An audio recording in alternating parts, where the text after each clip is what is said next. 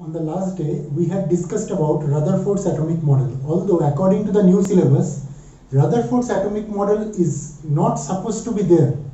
But as you know, we cannot propagate into the Niels Bohr's atomic model, which is our topic today, without knowing the Rutherford's atomic model. Because where Rutherford has failed, from there only Niels Bohr have taken. So we had discussed Rutherford's atomic model and the certain failures also we have discussed. Today we are going to see first of all what is the Planck's quantum theory because Planck's quantum theory on 1901 that theory actually helped for this theory, uh, nuclear model or atomic model to be evolved.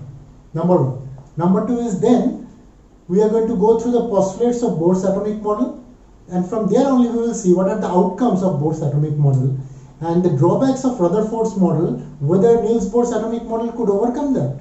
That is what we are going to see today. So first of all, let us see what is there in store for us. We are going to discuss first Planck's quantum theory, then the Rutherford's atomic model. So as I have mentioned, before moving into the Bohr's atomic model, we are going to go through the Planck's quantum theory. So let us discuss Planck's quantum theory.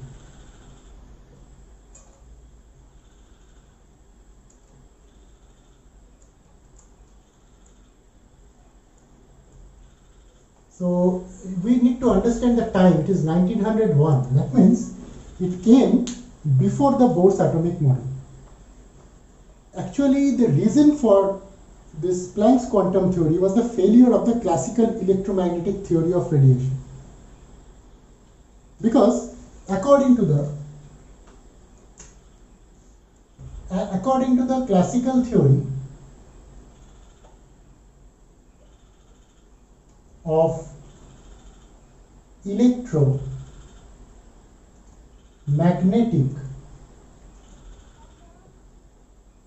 radiation it suggests that radiated or energy radiated energy is continuous.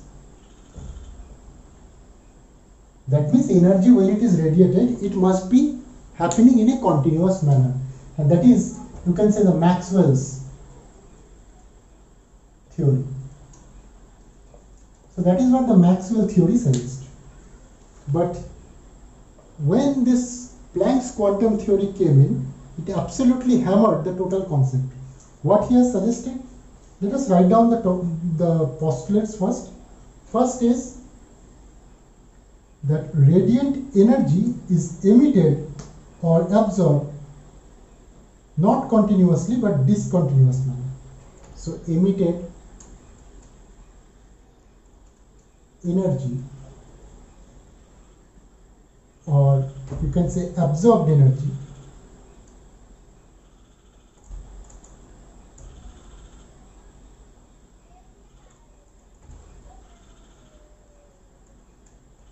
it happens in discontinuous manner discontinuous manner that is the first thing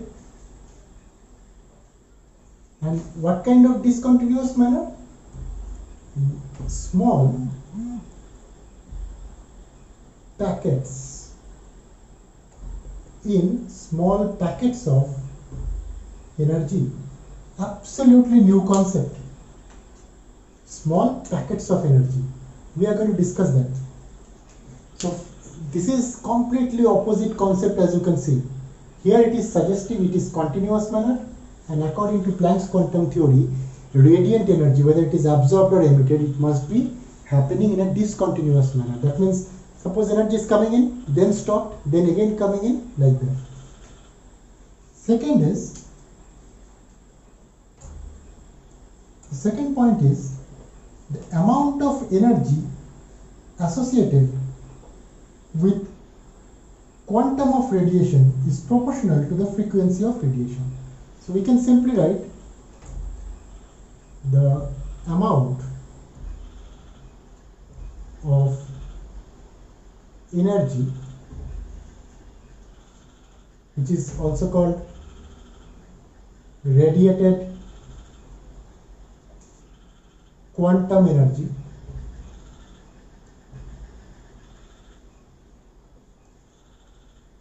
is proportional is proportional to the frequency of radiation which means we should be writing E proportional to nu but this is the where we should we should say that nu is frequency so just to remove this term we used to write E is equal to h nu and this h is called Planck's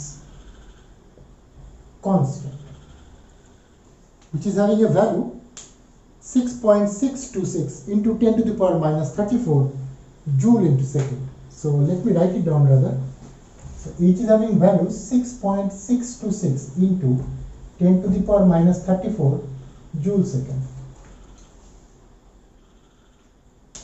So what we have observed that the energy which is radiated or absorbed, if it is associated with the radiated or absorbed energy, that means it, it is proportional to the frequency and just to remove this term we are introducing h and h is called the Planck's constant. Now the third point is the total energy or the radiated energy from any body is only in terms of integral multi- multiples of this quantum. Remember this is called quantum energy. So here it is mentioned a body can emit or absorb or absorb. Only in terms of only in terms of the integral multiples of quantum. Terms of the integral multiples of quantum. And here it is also mentioned that what how it should be explained? It should be expressed as E is equal to n h nu remember this n the value of n can be 1 2 3 whole numbers only. That means very easily we can understand that if an energy is emitted, either it can be h nu, 2h nu, 3h nu, etc. That means integral multiple of this quantum which is h nu. That means whenever energy is emitted or absorbed, it cannot be any amount. It has to be the integral multiple of this. So this is absolutely new thing, the Planck's quantum theory, and based on that only, Niels Bohr's model has evolved. So when we have understood the Planck's quantum theory and when we have understood the difference with the previous theory, which is Maxwell's theory, the time has come for us to move into the Bohr's atomic model. So the next topic will be Bohr's atomic model. Let us see the next topic.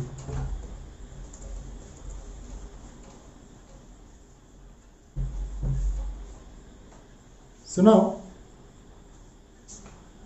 we are going to go through the Bohr's atomic model. It is having some postulates. So let me write down those postulates first.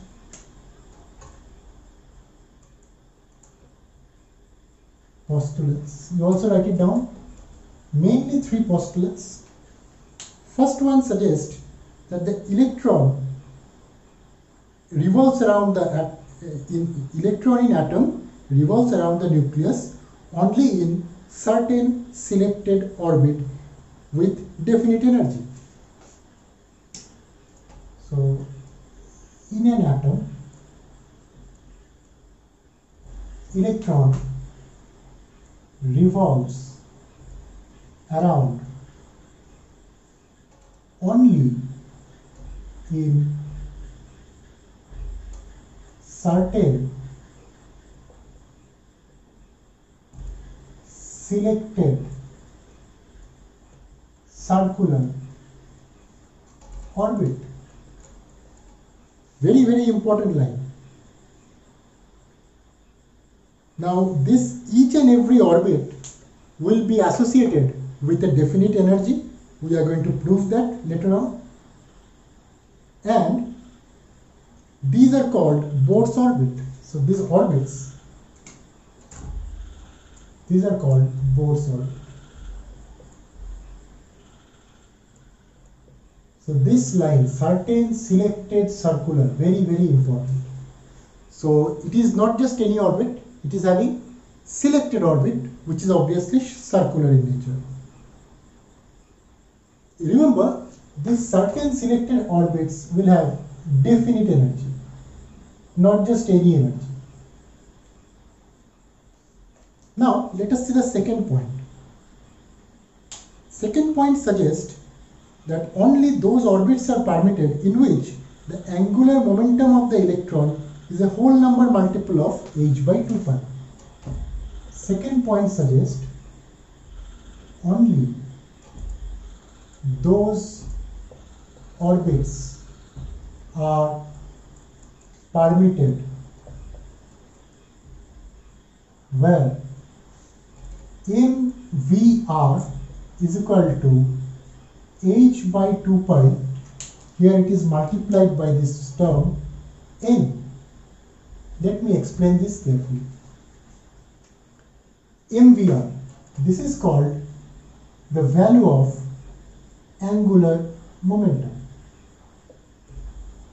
Okay? Where obviously m v and r as we know that m is the mass of electron v is the velocity of electron and r is radius. So it is mass velocity and this is the radius and this h is Planck's constant. So the h is Planck's constant. Now, what we have understood from here that only those orbits will be permitted which follows this mathematical criteria. That means uh, apart from this, no other orbit is permitted. It is not a single orbit. See, when we change the value of n, we will be getting different values on the right hand side. So those selected orbits are only permitted. So if we roughly try to understand up to now, it looks like that there is a nucleus and around which the electrons are circulating in circular orbit and only these particular orbits are allowed. In between anything, in between the anything, suppose for this orbit, mvr is not equal to nh by 2 pi, then this dot dot, this, this is not allowed. Okay. Then the third point, that as long as the electrons remains in a particular orbit, it neither loses energy nor gains energy. The third point is the concept of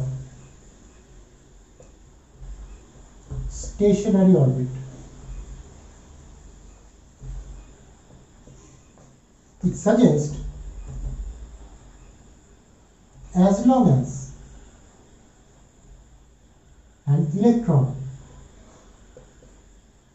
stays in a particular orbit,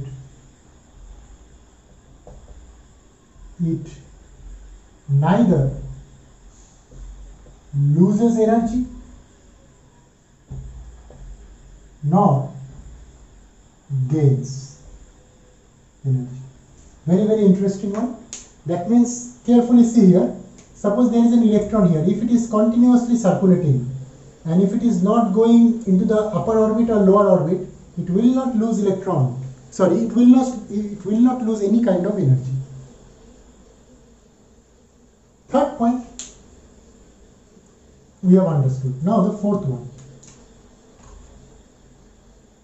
Fourth one suggests suppose an electron is present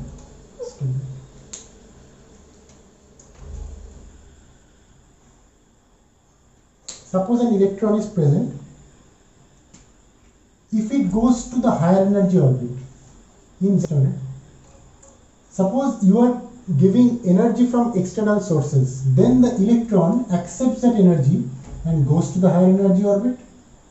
And if for any reason from higher energy orbit the electron comes to the lower energy orbit in that case it emits energy. So two things the fourth point electron goes to higher orbit when energy is provided. How much energy? Remember, all this energy is a certain amount of energy. And this, so this is the first part. The second is when electrons goes to lower orbit, what it does? It radiates or you can say it emits certain amount of energy.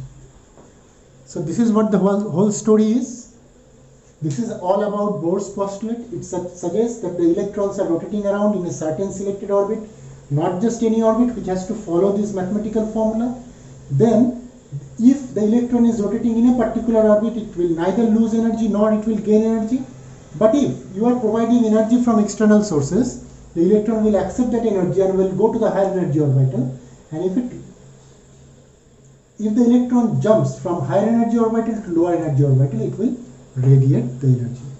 So this is all about the postulate. Now let us see what are the outcomes of this postulate. The next thing that we would like to discuss is the concept of quantization.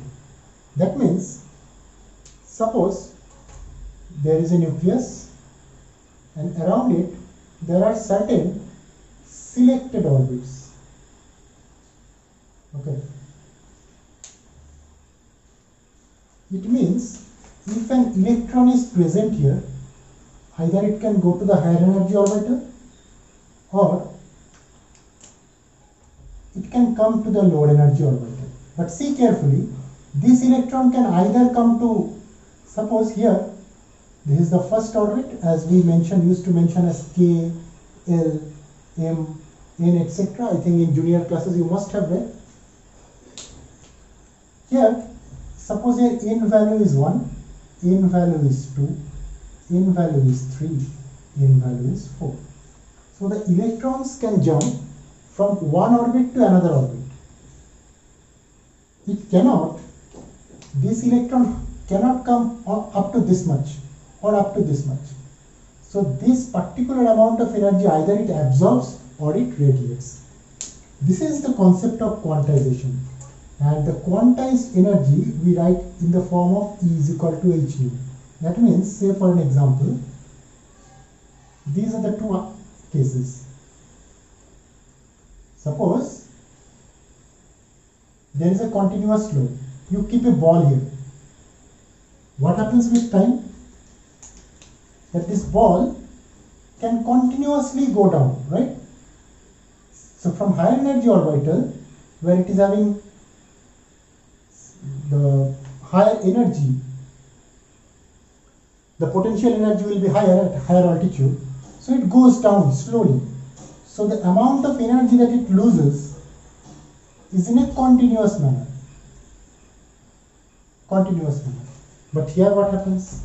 If you keep a ball here, it can come over here, then again up to this place, then again up to this place. So it can obviously radiate energy, but the amount of radiated energy is a certain amount and it just cannot go anywhere. There are three places, one, two and three. This is called the concept of quantization or you can say packet of energy. Packet of energy. That means electrons when goes goes up or it comes down, the amount of energy that it radiates is a certain amount. It comes in packet like h nu, 2h nu, 3h nu like that. It just cannot be any amount like 0.89 h nu. Energies can either be like h nu, 2h nu, 3h nu, 4h nu. These are allowed. But it cannot be like 0.83 h nu or 1.62 h nu. These are not. So this is called the packet of energy or the quantization of energy.